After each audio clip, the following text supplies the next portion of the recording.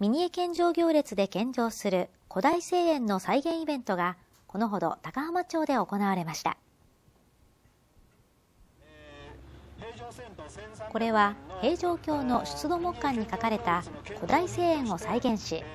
来月奈良県で開催される平城遷都1300年祭のオープニングで行うミニエ献上行列で献上しようと実行委員会が開きました。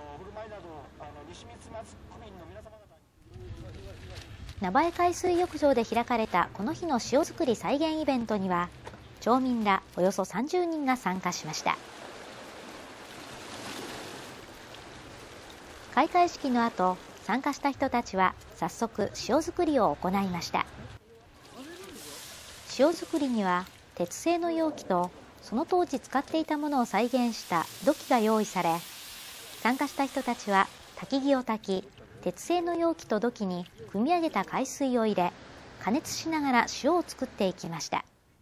その当時とはまたあの時間的な問題等ありますけれども、まあ、あの原理原則としてはこのように作っただろうと。そしてこの今作っている場所は青の里と言われる場所でございますのでまさにその場所的にも再現をしたということでございます。ミニエ献上行列は平城遷都1300年祭に合わせ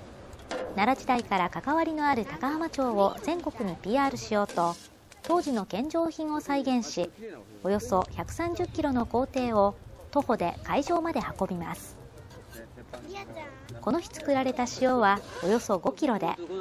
その一部を来月24日のオープニングセレモニーに参加して献上することにしています。